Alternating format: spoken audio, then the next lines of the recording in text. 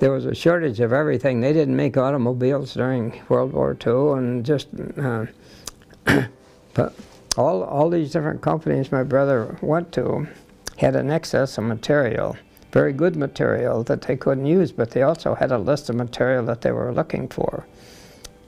And my brother came home one day and he said, told me what I just uh, said about the veil, about material, and he says, "Yeah, why don't you say if you can't go out and match up the excess with what they're looking for?" And I looked at Bob and I said, "Bob, I don't know anything more about that than this table."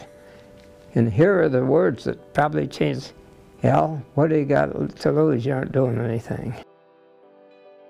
And when I see the accomplishments that have been made by our team here and the things that we can do to give back, I'm, I think I made the right decision. So a great day at work for my dad would be a couple customer visits so he can, he can tell them about our history and our culture, some of our suppliers visiting so he can talk to them because he's always involved with our inventory.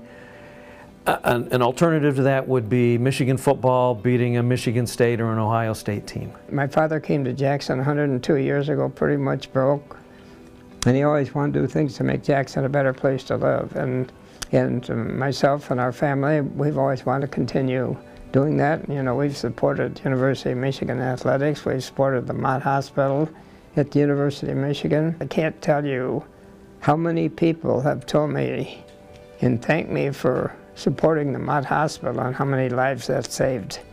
And uh, being 30, 35 miles from here, I'm just, I mean, that just, it just, it just makes me happy that we were able to do that and we want to continue. Well, I've been here 29 years. Everybody waits to uh, meet Al in your first few weeks, and Al uh, is known to come around and ask you some uh, trivia questions about uh, steel products. So you need to be prepared that you know some of the basics right out of the gate, and it's his way of telling you how important uh, product knowledge is.